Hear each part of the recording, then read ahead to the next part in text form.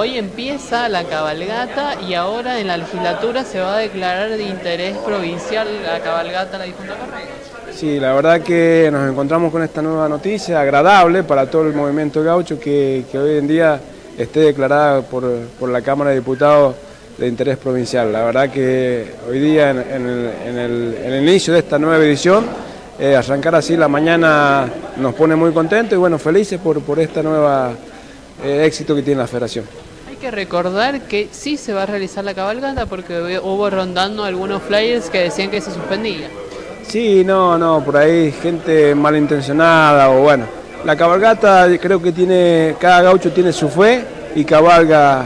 El gaucho se hizo a caballo en el campo y, nunca, nunca tuvo miedo al tiempo, a las cosas, así que creo que eso viene de la mano de, sus antepasados, así que la cabalgata se va a hacer, siempre nos tocó cambios de clima de repente, porque por ahí salíamos con calor acá y, en Caucete cambiaba el clima o, de Caucete la difunta, así que la cabalgata no se suspende, e inclusive el clima este que estamos viviendo hoy en día es ideal para cabalgar, principalmente para nuestros caballos, y bueno, lo demás, hay un poncho, hay mantas, hay muchas cosas que se pueden eh, ponerse para protegerse un poco del clima incluso la semana anterior nos había declarado que eh, contra viento y marea igual se iba a realizar.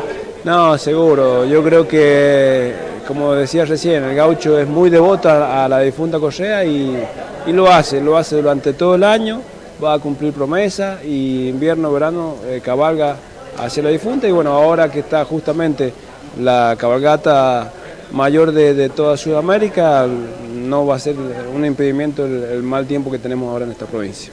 Recordemos qué actividades tenemos hoy y ya mañana comenzar a cabalgar.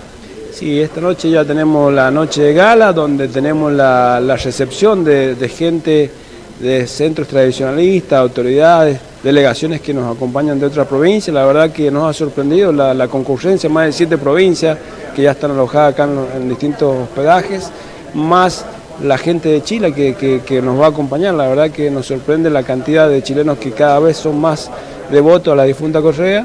Y bueno, eh, creo que esta cabalgata ya es un éxito. Nos pasó a nosotros que fuimos a buscar caballos para alquilar o para pedir prestado para, para los funcionarios, para gente que por ahí venía de otras provincias. La verdad que estaba agotado el mercado. Eh, nos pasó en los hospedajes en Caucete, en, Vallecito, ya con tiempo, así que ya un éxito esta cabalgata.